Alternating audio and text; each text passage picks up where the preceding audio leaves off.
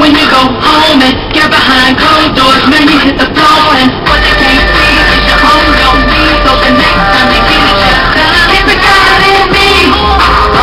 It's a God in me. It's a God in me. What's up, YouTube? This your girl, Cint da MUA. I'm on my way to a uh, model casting at the Shops of Willow Bend.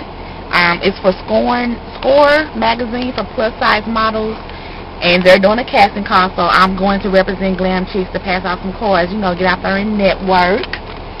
And here's my makeup look for today. Can you see? I will be some oranges and browns to match my earrings. Somebody looking at me in the corner typing um, to match my earrings. So when I get there, I'll uh, video some more stuff for you guys to see at the casting call. Until then, remember,